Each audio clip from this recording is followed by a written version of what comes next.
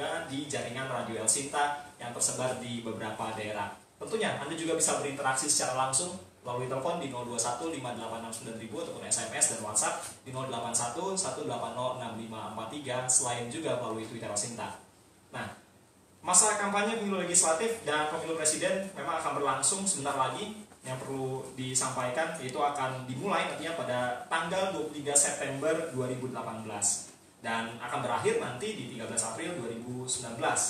Namun demikian, persoalan penetapan bakal caleg menjadi calon legislatif dari mantan narapidana korupsi tadi seperti yang sudah disampaikan oleh Melani ini menimbulkan permasalahan karena menemui hambatan belum diselesaikan atau belum ditetapkan karena adanya gugatan-gugatan yang dilakukan oleh mereka-mereka bakal calon legislatif mantan narapidana korupsi. Setidaknya ada sekitar 38 mantan narapidana korupsi yang diloloskan oleh Badan Pengawas Pemilu sebagai bakal calon legislatif meskipun melalui peraturan KPU Republik Indonesia nomor 20 tahun 2018 terutama mengenai pasal 4 ayat 3 dalam peraturan KPU tersebut dilarang mantan narapidana korupsi menjadi calon wakil rakyat. Namun Bawaslu bersikap sebaliknya dan ini tentunya menimbulkan perbedaan yang harus segera diselesaikan. Lalu bagaimana kira-kira KPU Provinsi DKI Jakarta menindaklanjuti hal ini? Kami sudah bersama dengan Ketua KPU DKI Jakarta,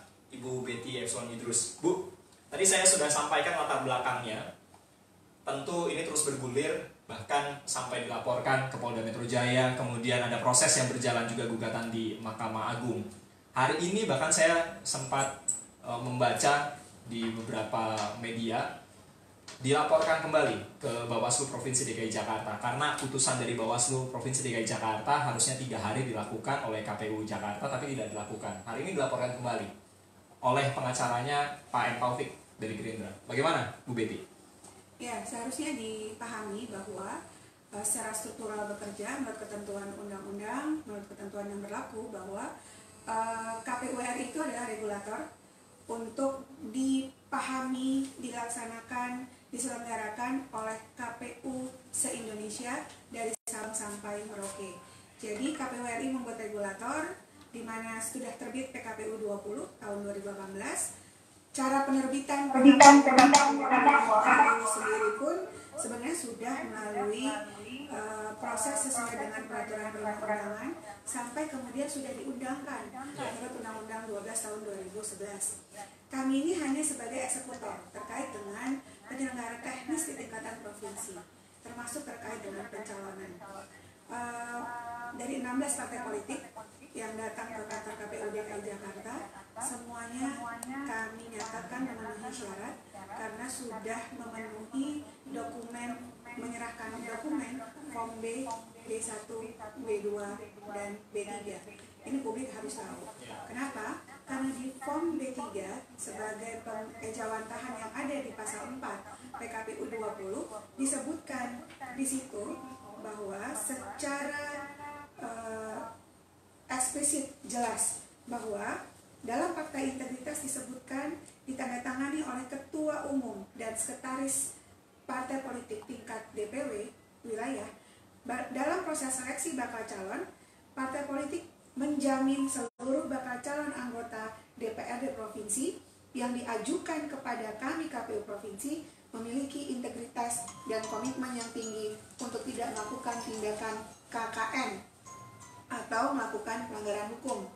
Nama-nama yang dicantumkan dalam formulir model B1 sebagai ya. syarat pencalonan bukan merupakan mantan terpidana bandar narkoba, kejahatan seksual terhadap anak, dan atau korupsi. Jika ya, jika melanggar hal-hal yang sudah ditentukan dalam fakta integritas, maka partai politik itu bersedia dikenakan sanksi administrasi. Apa sanksi administrasinya? Yaitu pembatalan bakal calon yang diajukan atau bahkan bakal calon yang tercantum dalam daftar calon atau bahkan ketika dia sudah terpilih ditandatangani di atas materai tentu kami sebagai eksekutor di lapangan gitu ya terhadap PKPU yang sudah diundangkan harus kami taati dan kami patuhi. Oleh karena itu kami berkesimpulan bahwa Pak M. Taufik tidak dapat meneruskan pencalonannya Karena setelah kami baca form BB BB1 yang disampaikan oleh si calon, eh, beliau menyertakan putusan pengadilan dari kepala lapas, dari media massa, dan bentuk iklan yang disampaikan bahwa beliau adalah mantan napi. Di situ jelas bahwa beliau adalah ex napi koruptor. Oleh karenanya, dengan segala permohonan eh, permohonan maaf ya, mau tidak mau, suka tidak suka ya, kami men-TNS kan yang bersangkutan tidak memenuhi syarat untuk menjadi calon yang akan diajukan dalam eh, DCT bahkan DCS kemarin dalam daftar calon sementara bahwa kemudian itu yang menyimpulkan yang bersangkutan tidak dapat dilanjutkan.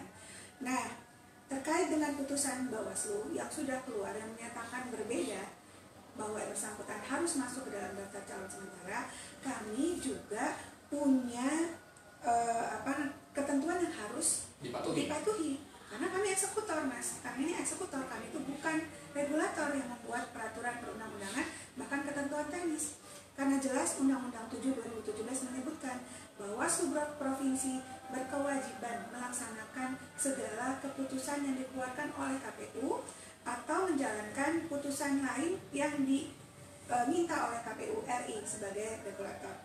Nah, dalam menindaklanjuti putusan Bawaslu terkait dengan yang bersangkutan harus masuk kembali ke dalam DCS, eh, KPU RI sudah mengeluarkan surat 991 yang menyatakan bahwa untuk pelaksanaan putusan Bawaslu mengenai mantan terpidana korupsi itu dijelaskan bahwa kami harus tetap memedomani ketentuan PKPU nomor 20 tahun 2018. Sampai kapan? Eh, karena KPU RI menganggap bahwa PKPU 20 ini masih hidup, masih ada dan memang masih ada dan memang masih eksis. Karena sampai ada putusan yang berkekuatan hukum tetap yang menyatakan PKPU bertentangan dengan Undang-Undang 7 tentang pemilihan umum. Oleh karenanya, Ketua KPU RI meminta kepada kami melakukan penundaan terhadap pelaksanaan putusan Bawaslu sampai dengan keluarnya putusan uji materi Mahkamah Agung terhadap peraturan KPU yang sudah keluar. Jadi itu yang kami pahami, itu yang kami patuhi dan sejauh ini kami masih meyakini diri kami kami bekerja sudah sesuai dengan ketentuan peraturan perundang-undangan. Meskipun pada akhirnya tadi saya sampaikan di awal ini berujung pada proses hukum selanjutnya dilaporkan kepada pihak kepolisian Polda Metro Jaya, Bu Betty. Itu konsekuensi dari pekerjaan, tapi kami yakini kami bekerja sudah sesuai dengan ketentuan. Jika pun ada, nanti kita melihat situasinya jauh lebih apa lebih. Ada potensi nantinya gugatan di MA tentu akan dikeluarkan juga putusannya ya. Entah itu nanti mengabulkan dari penggugat atau justru tergugat yang dimenangkan. Ini tentu juga akan berimbas pada proses pemilu nantinya. Sudah siap dan eh, bagaimana nantinya mengenai hal itu karena berpotensi artinya kalau narapidana mantan narapidana koruptor itu diizinkan untuk masuk menjadi anggota legislatif artinya kan ada proses lagi yang harus berjalan dari awal sepertinya seperti itu bagaimana Jadi eh, eh, kami meyakini mas eh, ini terjadi tadi tidak hanya di 38 wilayah, terakhir ada 43 yang saya dengar. Se- malah lebih banyak ya Jadi eh, tetap ketentuan kami mereview pada PKPU 20 surat edaran 991 bahwa kemudian eh, ada putusan Mahkamah Agung berkata lain, tentu kami sebagai penyelenggara sekali lagi kami ini eksekutor tidak dapat menilai putusannya benar atau tidak, begitu ya. Tentu nanti akan ada ketentuan lebih lanjut terhadap cara kami mengeksekusi putusan Mahkamah Agung kalau nanti keluar entah kapan kami tidak tahu kami juga menantinya gitu ya Eh, akan keluar surat lagi dari KPU terkait dengan bagaimana cara kami menindaklanjuti putusan MA. Ya sekarang ada di depan mata karena PKPU nomor 20 tahun 2018 masih ada itu dulu yang dijalani sambil menunggu menunggu nanti putusan MA dan instruksi dari KPU pusat berarti ya. Itu instruksi KPU RI kepada kami seluruh Indonesia.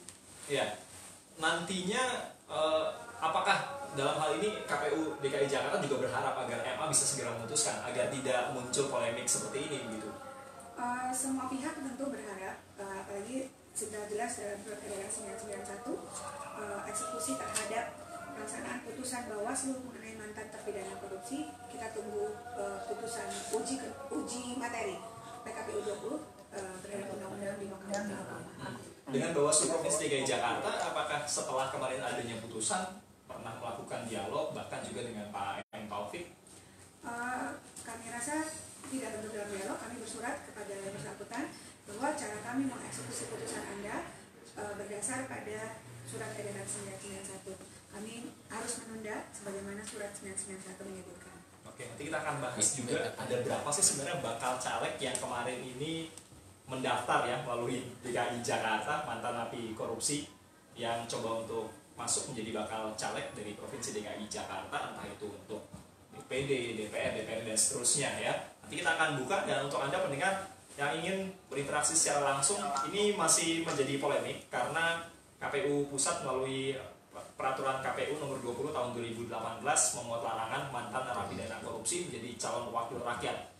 Ini diharapkan nantinya bisa membuat pemilu ke depannya jauh lebih berintegritas karena diharapkan para calon ataupun anggota legislatif yang terpilih atau dipilih oleh masyarakat adalah mereka yang memiliki integritas dan benar-benar memerangi korupsi ya karena mereka tidak pernah tersangkut kasus korupsi. Bagaimana pandangan Anda mengenai hal itu? Namun di satu sisi juga muncul perbedaan karena justru Bawaslu juga menanggapinya berbeda. Ternyata mantan napi korupsi ini dinyatakan juga masih memiliki hak untuk dipilih oleh masyarakat. Anda yang memiliki peranan tentunya juga perlu berkomentar bisa bergabung melalui telepon di 021 5869 ataupun SMS dan WhatsApp di 081 180 6543. Kita jeda terlebih dahulu.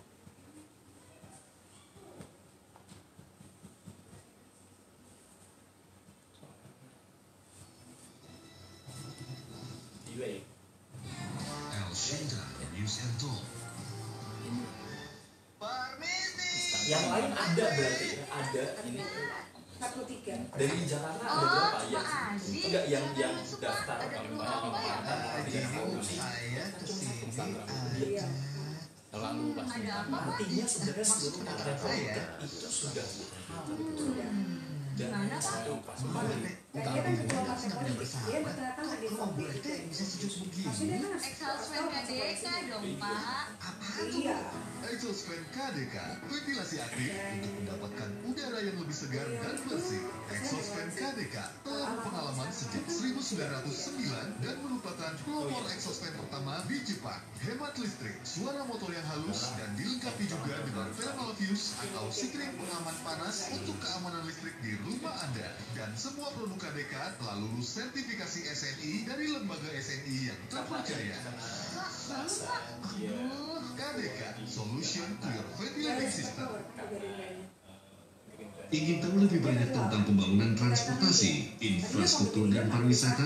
Dapatkan infonya dalam Indo Trans Expo 2018 tanggal 17 dan 18 September 2018 di Assembly Hall JCC Senayan Jakarta. Kunjungi Indo Trans Expo 2018 dengan tema meningkatkan pelayanan publik dan sinergi konektivitas dalam memberikan kenyamanan di era digitalisasi. Dalam rangka Hari Perhubungan Nasional diselenggarakan oleh Kementerian Perhubungan Republik Indonesia.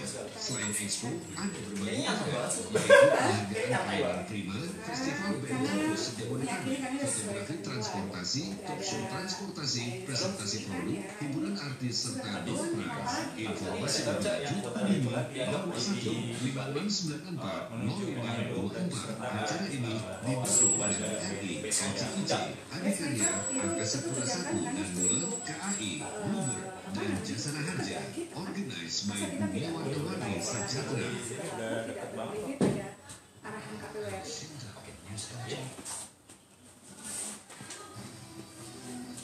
Menuju pemilu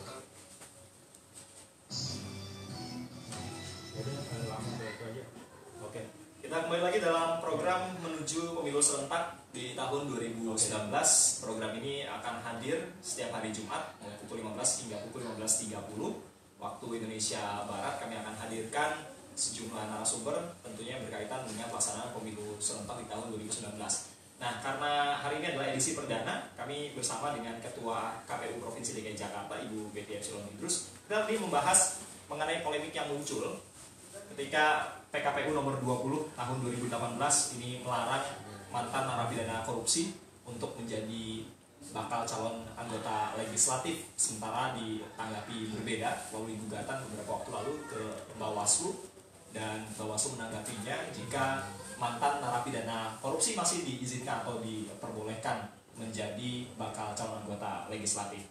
Tadi pertanyaan sebelum kita jeda iklan, kalau di Jakarta ada berapa sih sebenarnya mantan narapidana korupsi yang mencoba untuk mendaftarkan kembali dan coba eh, menggugat apa yang sudah digariskan oleh KPU melalui peraturan KPU nomor 20 tahun 2018 itu. Dari awal penyerahan dokumen yang disampaikan oleh sem- 16 partai politik hanya satu mas. Itu atas nama Pak M. Taufik Betul. dari Gerindra. Betul, ketua partai politik Gerindra wilayah DKI.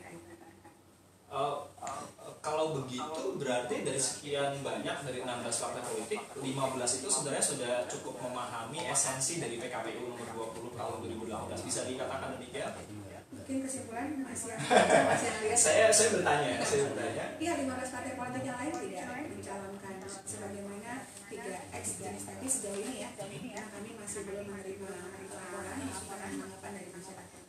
Sebagaimana tadi di Form 3 bahkan jika sudah terpilih yang bersangkutan eh, akan diminta mundur. Eh, tapi pintunya adalah partai politik. Jadi sebenarnya pencalonan, jadi ada syarat pencalonan dan syarat calon. Syarat pencalonan disiapkan oleh partai politik karena partai politik lah sesungguhnya peserta pemilu selain calon presiden dan wakil presiden juga calon anggota perseorangan perseorangan dari DPD. Partai politik lah yang menjadi pintu masuk semua calon-calon yang akan dicalonkan di 10 dapil sedekai Jakarta untuk kemudian eh, dimaktub termaktub dalam form B, B1, B2, B3 itu mas kalau dari eh, proses pencalonan partai politik. Jelas dalam form B3 disebutkan partai politik itu tidak mencalonkan yang tadi. Jika iya, maka ada konsekuensi dari dalam poin 3 yang sudah ditandatangani di atas materai oleh ketua dan sekretaris. Ini PKPU nomor 20 tahun 2018 tentu niatan dari penyelenggara pemilu KPU pusat dan juga ini menjadi sebuah kewajiban bagi KPU Provinsi DKI Jakarta untuk mematuhi hal tersebut bertujuan atau berniat untuk membuat penyelenggaraan pemilu ke depannya semakin berkualitas. Nah, saya bacakan beberapa komentar yang masuk. Yang pertama dari Pak Tarwadi di Kuningan, Jawa Barat, tetap menolak mantan narapidana koruptor menjadi pejabat. Dalam hal ini mungkin anggota dewan maksudnya ya. Kembali Pak Tarwadi ini mendukung KPU. Dengan eh, banyaknya eh, respon dari masyarakat, kemudian justru mungkin yang muncul pro kontra adalah dari mereka-mereka mantan narapidana eh, korupsi ya untuk maju kembali menjadi calon anggota legislatif. Bagaimana Bu Betty dan KPU Provinsi DKI Jakarta menanggapi hal itu?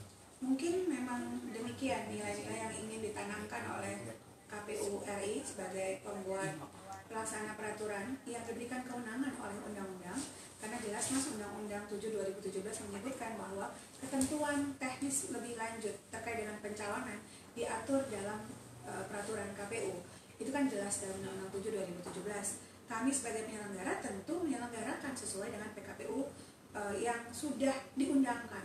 Ketika sudah diundangkan, kami menyadari penuh itu berlaku.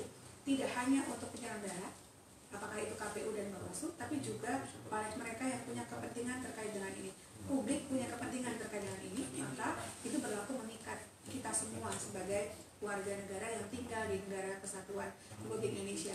Kami eh, menghormati penuh apa yang ada dalam PKPU 20 dan kami jalani sesuai dengan ketentuan. Sehingga kesimpulan apakah yang bersangkutan memenuhi syarat atau tidak memenuhi syarat, tentu kami mereview pada ketentuan yang sudah. Jadi kalau publik menilai, eh, saya yakini bahwa eh, itulah yang diharapkan eh, oleh mereka, oleh pimpinan kami di Mambonjol KPWRI untuk menghasilkan pemimpin-pemimpin bangsa kita eh, yang berintegritas karena kami sendiri penyelenggara pemilu juga eh, diminta untuk memiliki integritas yang tinggi. Jadi eh, ini yang dapat kami lakukan sebaik-baiknya manusia yang tinggal di DKI Jakarta sebagai penyelenggara pemilu. Ya, ini sebenarnya pertanyaan saya off air tadi ke Bu Betty selaku Ketua KPU Provinsi DKI Jakarta. Ada gugatan hukum melalui MA, kemudian juga yang terbaru ya beberapa waktu yang lalu dilaporkan ke Polda Metro Jaya tujuh komisioner KPU Provinsi DKI Jakarta sudah menyiapkan tim hukum belum sih bu pengacara misalkan Oh, tuntutan eh, dari eh, beliau yang bersangkutan sebenarnya tidak hanya di Polda. Sebelumnya Bawaslu sehingga Iya. keluar putusan Bawaslu itu kami hadapi sendiri. Lalu eh, Komisi Informasi juga kami hadapi sendiri terhadap eh, tuntutan yang lain. eh, kami berkoordinasi sudah berkoordinasi dengan KPU RI. Sejauh ini kami belum punya pengacara. Eh, dokumen sudah dokumentasi yang kita punyai, data yang kita yang kita punyai kita sudah eh, simpan dan kita sudah susun. Mudah-mudahan itu dapat membantu kami jauh lebih baik. Dan koordinasi dengan KPU RI selalu kami lakukan. Mas. Iya, sebelum saya ke SMS dan pertanyaan-pertanyaan lain, saya bertanya lagi kalau putusan MA belum keluar, sementara proses pencalekan sudah berakhir, apakah berarti mereka-mereka yang namanya dicoret oleh KPU dengan sendirinya gugur juga sebagai caleg? Kalau menurut surat edaran 991, kami menunggu sampai putusan Mahkamah Agung keluar. Jadi tanggal 20 September menurut PKPU 5 tahun 2017 adalah penetapan eh, calon tetap ya kita tunggu eh, apakah nanti keluar surat edaran baru dari KPU RI atau keluar eh, kebijakan lain kita tunggu dari KPU RI. Sekali lagi KPU DKI Jakarta mengeksekusi apa pun putusan yang sudah dikeluarkan oleh. Berarti KPU DKI, DKI Jakarta sifatnya menunggu saja berarti ya? Ya, kami akan menjalankan putusan yang sudah dikeluarkan, kami hormati karena kami yakini penuh bahwa kita bekerja secara nasional, tetap dan mandiri. Satu putusan KPU RI itu berlaku eh, sama dari Sabang sampai Merauke, termasuk di ibu kota negara kesatuan Republik Indonesia. Iya. Ini ramai melalui WhatsApp, SMS dan juga Twitter. Tapi eh, nanti saya bacakan. Saya ingin mengetahui juga mungkin bagi anda yang ingin telepon secara langsung menyampaikan pendapat dari daerah mana pun karena kita juga disiarkan melalui jaringan Radio Sinta yang tersebar di beberapa daerah. Silakan anda bisa telepon juga langsung di 0215869000 selain melalui SMS dan WhatsApp di 0811806543 dan juga via Twitter Radio Sinta. Ada pendapat melalui Twitter Pak Muhid Saihan ya. Selamat siang Pak Muhid. KPU ini harus tegas sebelum ada putusan dari MA atau MK yang membatalkan PKPU, mantan narapidana harus tetap dicoret walau Bawaslu meloloskan. Bawaslu cukup dicatat dalam memori rakyat yang sudah dalam tanda kutip ini ya, kalau menurut Pak Muhid ini dari Twitter yang terkesan membantu mantan narapidana koruptor. Ini pendapat dari Pak Muhid Saihan. Ini pandangan dari masyarakat. Bagaimana, Bu Ben? Terima kasih atas apresiasinya. Eh, saya menjaga etika penyelenggara eh, dalam artian bahwa eh, tidak dapat menilai gitu ya eh, karena ketentuan ini tentu kami harus tegak lurus terhadap yang ada. Apresiasi masyarakat saya juga sudah baca di media sosial, di surat kabar eh, dan di beberapa media online. Eh, Alhamdulillah eh, support banyak dari masyarakat terkait dengan ini. Mudah-mudahan ini juga jadi penguat kami eh, sebagai penyelenggara di tingkatan DKI Jakarta. Jadi eh, betul Bapak, eh, kami akan bekerja sesuai dengan ketentuan PKPU 20 masih ada, masih berlaku sepanjang belum ada putusan Mahkamah Agung menyatakan itu tidak berlaku, tentu tidak dapat kita eksekusi. Eh, selain itu, putusan Bawaslu kami juga hormati eh, dengan sudah bersurat kepada Bawaslu DKI Jakarta berdasarkan edaran 991 eh, kami tidak belum dapat mengeksekusi putusan Anda karena eh, diminta oleh KPU RI sekali lagi kami nasional eh, tetap dan mandiri eh, diminta untuk menunda putusan Bawaslu terkait dengan kasus ini. Baik. Kita ke penelpon. Ternyata ada Pak Heri di Bekasi. Yang pertama, halo Pak Heri. Selamat sore Pak. Selamat sore Pak Heri. Iya Pak. Ini kalau saya ini aja nih anggota untuk anggota TO yang menjadikan caleg itu mending tahu diri aja lah. Eh, Orang-orang udah orang rusak ngapain lagi nyalek-nyalek lagi tahu diri aja gitu pesan saya aja Pak.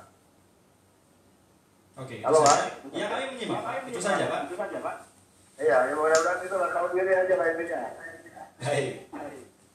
Iya Pak. Terima kasih Pak Heri di Bekasi. Kemudian Pak Handri di Bintaro. Halo Pak Handri. Halo, selamat siang, selamat sore. Ya, siang menjelang sore Pak Handri. Kalau menurut, halo, Kami menyimak Pak. menyimak Pak. Kalau menurut pendapat saya, mantan pelanggaran baik korupsi, narkoba dan segala macam itu untuk menyusahkan rakyat, kenapa harus dipilih lagi? Kenapa harus dipilih lagi? Mereka itu mentalnya sudah rusak.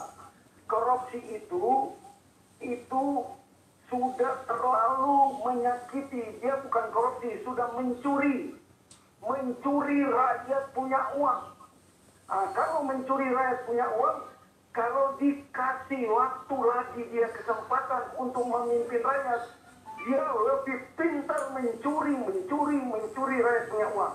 Maka kami rakyat tidak kalau bisa jangan sekali-sekali mereka dicalonkan lagi. Mental, mental sudah rusak. Hidup pemerintah itu harus mental bersih, bukan seperti mereka mental rusak. Terima kasih. Terima kasih Pak Andri, Pak Andri di Bintaro, ya dan Pak Heri di dan Pak Bekasi. Heri di Bekasi. Ini mungkin Ini mungkin menjadi menjadi uh, hal berbeda ketika berbeda mungkin ketika nantinya nantinya dikabulkan, dikabulkan oleh oleh bolanya adalah di tengah-tengah masyarakat. Artinya masyarakat yang memang harus menentukan pilihan ya, mau memilih mereka atau tidak. Ini yang dihadapkan. Tapi penting juga bagaimana kita kalau yang namanya makanan, makanan ada cukup banyak, ada yang tidak berkualitas, masyarakat juga yang menentukan. Pendapat dari masyarakat tadi. Iya. Eh, sekal- eh, tadi sudah saya sebutkan bahwa pintu masuk pencalonan untuk eh, pejabat publik dalam hal ini adalah calon anggota legislatif DPR, DPRD provinsi, DPRD kabupaten kota adalah partai politik. Jadi partai politik eh, itu diminta untuk mengikut sertakan gitu ya atau memiliki komitmen dalam fakta integritas jelas sudah dicatatkan Uh, mereka mengajukan seluruh bakal calon anggotanya itu memiliki integritas dan komitmen yang tinggi untuk tidak melakukan tindakan KKN atau melakukan pelanggaran hukum. Membalas pasal 4 dalam fakta integritas juga disebutkan bahwa nama-nama yang dicalonkan oleh partai politik sebagai pintu masuk mereka yang akan menjadi pejabat publik bukan mantan terpidana bandar narkoba, kejahatan seksual terhadap anak dan atau korupsi. Jadi itu yang kemudian kami pahami menjadi alat ukur kami untuk menilai calon-calon pejabat publik itu kami MS kan atau kami tidak eh, memenuhi syarat. Oke, baik. Bu Betty, kita harus jeda terlebih dahulu untuk mendengarkan BBC Global Newsbeat. Nanti saya bacakan kembali beberapa pendengar yang masuk melalui SMS dan WhatsApp. Newsbeat, BBC London.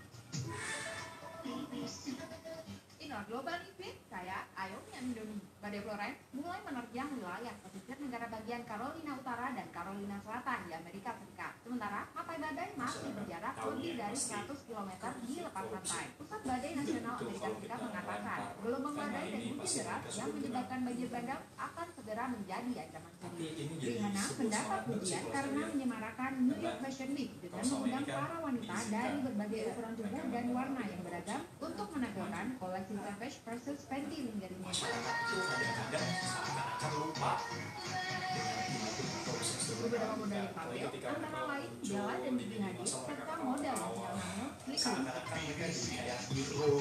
Ribuan orang dan masih dari daerah Iya, iya.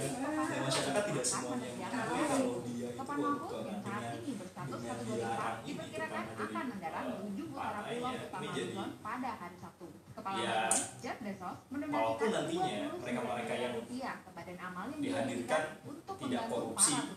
Ketika belum dipilih tidak korupsi, ketika menjabat belum tentu dia tidak korupsi, tapi paling tidak itu menjaga. ya. Iya, barrier gitu.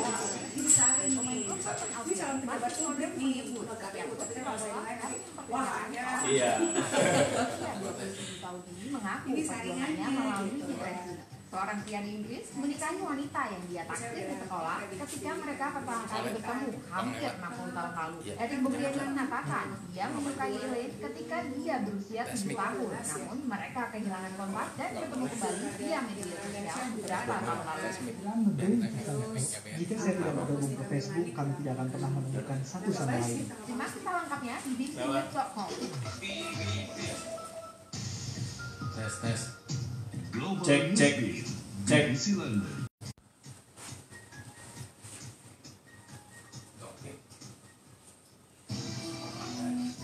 menuju pemilu serentak 2019.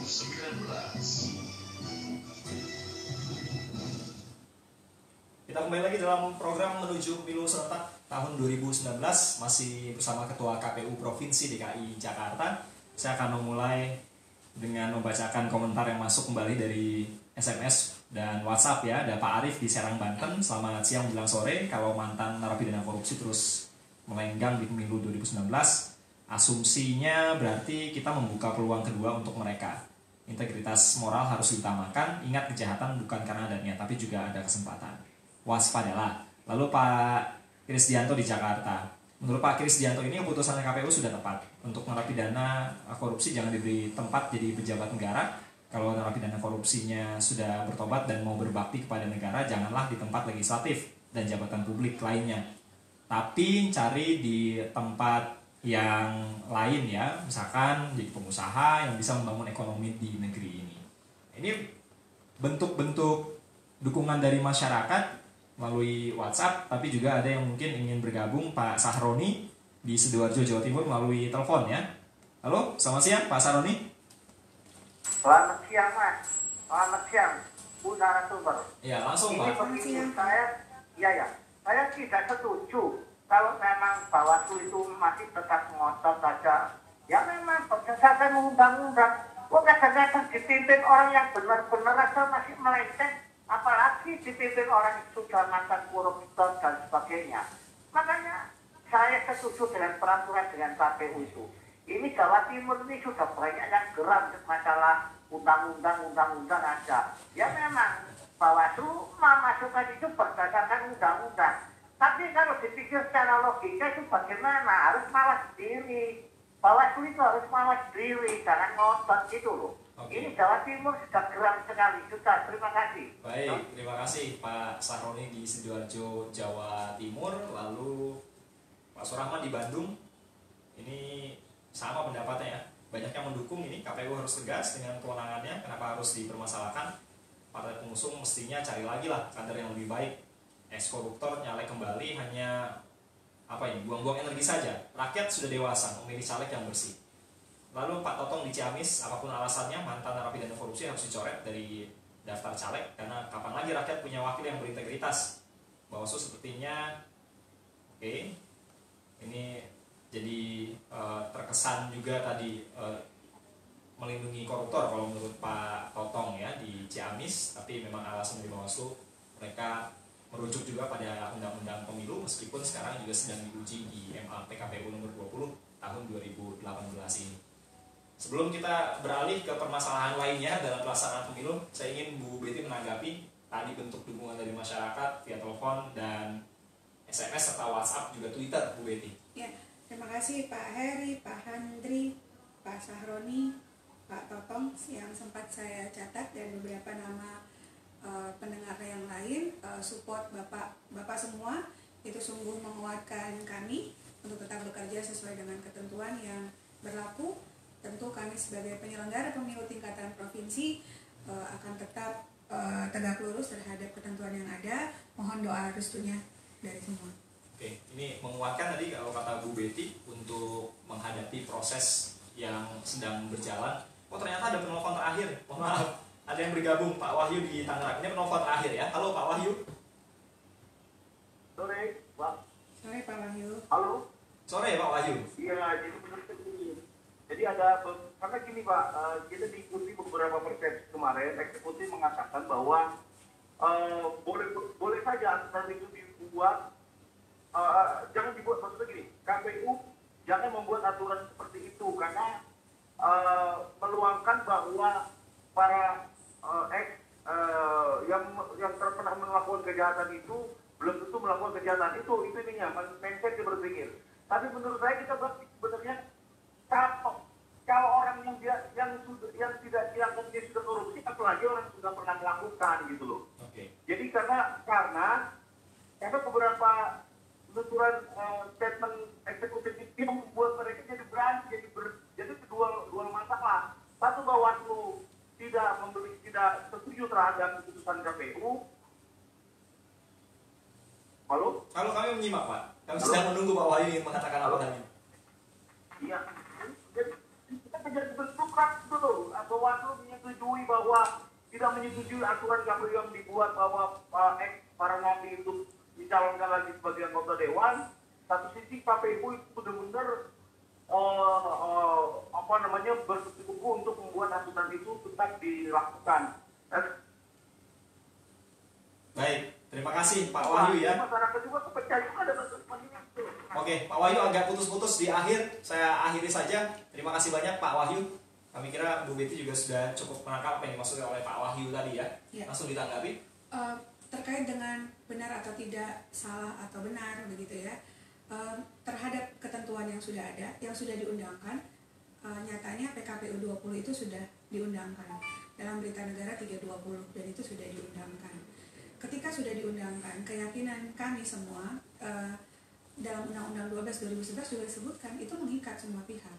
Ketika mengikat semua pihak terlepas benar atau tidak salah atau tidak kalau ingin digugat dalam Undang-Undang 7 jelas disebutkan eh, penggugat eh, ingin menggugatnya adalah dalam ranah Mahkamah Agung. Karena jelas juga dalam undang-undang yang dimaksud bahwa ketika dianggap peraturan di bawah undang-undang eh, berbeda atau tidak sama atau tidak sejalan dengan undang-undang di atasnya maka pintu keluarnya adalah di eh, Mahkamah Agung. Ya, ada jalurnya jelas ya. ada jalurnya.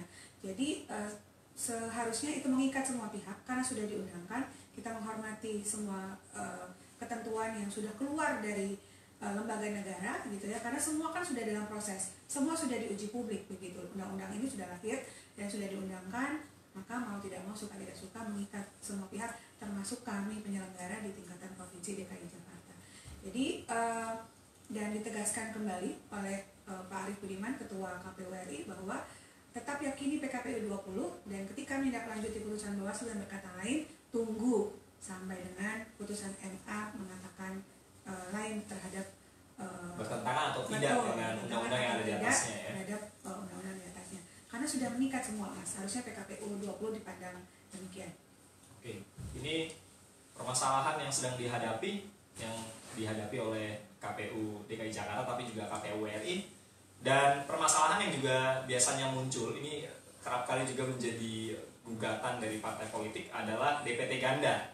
Biasanya ada masukan-masukan dari partai politik juga berkenaan dengan hal ini. Kalau yang terjadi di Provinsi DKI Jakarta sejauh ini bagaimana Bu Betty mengenai DPT ganda tersebut dan masukan-masukan dari partai politik? Ya, eh, daftar pemilih kita Mas Berry itu tidak ujuk-ujuk eh, tersedia Ya. Eh, karena dia melalui proses yang sangat panjang, prosesnya pun sangat terbuka, tidak ada yang ditutup-tutupi. Jadi ketika kami menerima form A, yaitu form berisikan listing nama-nama penduduk kita disertai dengan NIK dan NKK-nya dari KPU RI, karena KPU RI yang menerima data dari Dirjen Dukcapil dan disinkronisasi, kami menerima itu dan kemudian melakukan coklit pencocokan dan penelitian di setiap rumah-rumah, di setiap eh, warga negara yang tinggal di DKI Jakarta. Perbedaan dengan pemilu-pemilu sebelumnya, Mas Berry, sekarang itu harus de jure. De jure itu artinya kami mendaftarkan pemilih sesuai dengan alamat yang ada, yang tertera di IKTP-nya. Harus KTP elektronik. Kalau yang dulu masih dibuka kesempatan kalau masyarakat tidak tinggal sesuai dengan alamat yang ada di IKTP diberi kesempatan Anda menggunakan hak pilih di mana de facto Ya. boleh nggak boleh dan itu eh, tentu ketentuan dasar hukumnya berbeda kalau sekarang jelas dalam Undang-Undang 7 2017 kita mendaftarkan seseorang sesuai dengan alamat IKTP-nya nah masyarakat DKI Jakarta ini kan banyak yang kontraktor nih mas. Kontraktor tuh dalam artian kontrak eh, pindah dari A ke B, B ke C gitu ya tidak disertai dengan dokumen kepindahan kependudukannya. Nah eh, ini yang kemudian kita usahakan kita coklit sedemikian rupa dan kemudian eh, kita keluarkan produk yang disebut dengan daftar pemilih sementara. Daftar pemilih sementara yang dikeluarkan itu eh, bottom up dari kelurahan, kecamatan ditetapkan di tingkatan kabupaten kota lalu direkap di tingkat provinsi dan tingkat nasional. Jadi sifat kami di provinsi hanya merekapitulasi dari eh, bottom up tadi. Nah, di tingkat kelurahan itu juga didatangi oleh partai politik dan panwas tingkat kelurahan. Eh, dilakukan pleno juga secara terbuka, dicek sama-sama karena mereka lah yang paling lengket, yang paling dekat dekat ya. dengan masyarakat yang ada di sekitaran kita, tingkatan PPS kalau di KPU namanya. Ketika dilakukan eh, penjumlahan di tiap eh, rumah-rumah di tingkat kelurahan, direkap lagi di PPS. Di PPS datang juga secara terbuka oleh partai politik dan panwas yang paling dekat dengan kami sebagai penyelenggara. Direkap lagi di tingkatan KPU Kabupaten Kota.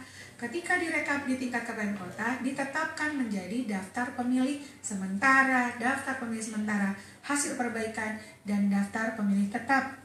Keterbukaan informasi yang kami lakukan bahkan menempelkan nama-nama ini dan tertera dalam sistem informasi eh, data pemilih sidalih kita. Untuk dicek oleh masyarakat dan diberikan masukan dan tanggapan oleh masyarakat. Sampai kemudian di tingkatan provinsi ketika direkap tanggal 30 Agustus 2018 kami melakukan secara terbuka juga plenonya. Dan kami sampaikan kepada partai politik termasuk partai politik memberikan masukan bahwa data Anda, dugaan data yang disampaikan 1,2 juta data bermasalah sudah kami bersihkan. Terima kasih atas masukan dari partai politik. Sudah kami bersihkan dan sudah kita uji petik di rekap secara eh, provinsi, tingkatan provinsi. Ketika rekap di tingkatan nasional, kemudian eh, ditengarai bahwa terjadi ti- eh, 113 ribuan masukan dari Bawaslu, tapi untuk se-Indonesia 180-an juta masyarakat kita adat ditengarai sementara 113 ribu data ganda. Nah, oleh karena itu, karena ini rekap tingkat nasional dan kemudian dipastikan oleh Bawaslu RI direkomendasikan untuk ada eh, apa namanya rekap DPT hasil perbaikan kembali di DKI Jakarta dari Bawaslu eh, kabupaten kota yang sudah ada sudah kami rekap. Sementara ada 10.457 potensi ganda. Potensi ya mas ya? Potensi ganda. Sementara di internal kami pun kami cek lagi. Ayo kita cek lagi nih kota eh, ada berapa yang masih bermasalah? Yuk kita bersihkan. Ikhtiar baik itu yang kemudian dilakukan oleh teman-teman kami di tingkatan KPU Kabupaten Kota. Dan alhamdulillah tadi malam semua KPU Kabupaten Kota sudah menetapkan daftar pemilih tetap hasil perbaikan sudah sesuai dengan sistem informasi data pemilihnya. Nah, terkait dengan data-data ganda yang disampaikan oleh temuan Bawaslu KPU Kabupaten Kota ada sekitar 10 ribuan tersebar di 6 kabupaten kota dari 7,2 juta pemilih 10 ribu per 7,2 juta pemilih itu 0,0 sekian persen Iya. potensi data ganda dan itu alhamdulillah sudah kita bersihkan sampai tadi malam saya bertempat di Jakarta Utara saya ikuti penuh pleno di Jakarta Utara dan alhamdulillah masukan dari publik dapat kita jawab karena jelas dalam PKPU 11 tahun 2018 kalau ada masukan dari partai politik atau dari Bawaslu dapat kita selesaikan sepanjang ada data otentik untuk kita buktikan bersama. Maka yang bersangkutan itu sah atau tidak keabsahannya sebagai pemilih untuk dapat menggunakan hak pilih di DKI Jakarta. Jadi itu semua sudah dapat kami secara baik tadi malam. Alhamdulillah saya dapat laporan dari 6 kabupaten kota se-DKI Jakarta semuanya tepat waktu Mas karena di rekap nasional dipastikan bahwa rekap tingkatan provinsi selesai tanggal 13 malam ini di tingkatan provinsi nanti tanggal 16 naik lagi di tingkatan KPU RI kita tunggu pleno eh, kami dan pleno eh, tingkatan KPU KPU RI ya. betul Baik. Mudah-mudahan ini tidak ada lagi masukan dari uh, partai politik ya. Karena tadi harus ditentui, ditentukan juga dengan data-data dan bukti-bukti tadi ya. otentik betul. Oke, oke. dan ini kan sudah dilalui dari bawah prosedur ini kan sudah dari, eh, dari bawah. Partai politik Bawaslu juga sudah punya personil dari bawah dari kelurahan kecamatan segala macam. Seyogianya seharusnya harapan kami adalah masukan itu masuk bottom up. Bottom up kita selesaikan eh, kalaupun ada eh, kita selesaikan untuk kemudian eh, terjadi harmonisasi antara penyelenggara dengan peserta pemilu dalam hal ini eh, bagaimana merumuskan eh, daftar pemilih tetap yang betul-betul akurat dan komprehensif. Jadi masukan-masukan itu tentu berharga bagi kami. Selain masukan dan tanggapan masyarakat secara langsung datang ke kantor kelurahan yang ada. Baik, Bu Betty terima kasih banyak ya sudah Sama-sama, bersama Elsita. Dery. Terima kasih banyak. Dan pendengar terima kasih juga untuk Anda yang sudah menyaksikan secara langsung kami melalui beberapa akun media sosial seperti Twitter, Instagram, dan juga Facebook Radio El Sinta. Tentunya Anda masih bisa menyimak program menuju pemilu serentak tahun 2019 di hari Jumat pekan depan di waktu yang sama pukul 15 waktu Indonesia Barat. Terima kasih juga untuk sejumlah pendengar yang tadi sudah menyampaikan pendapatnya. Saya mencatat di sini cukup banyak ada Pak Wahyu tadi Tangerang melalui telepon, kemudian dari Elias Nathanael Papahan ini melalui Facebook ya, ada Pak Ratno juga di BSD yang menyampaikan pendapatnya melalui SMS atau WhatsApp, serta beberapa pendengar lain yang tidak bisa saya sebutkan satu persatu. Terima kasih untuk bersamaan Anda. Saya Beri Hamzah, kita kembali ke studio bersama Melani.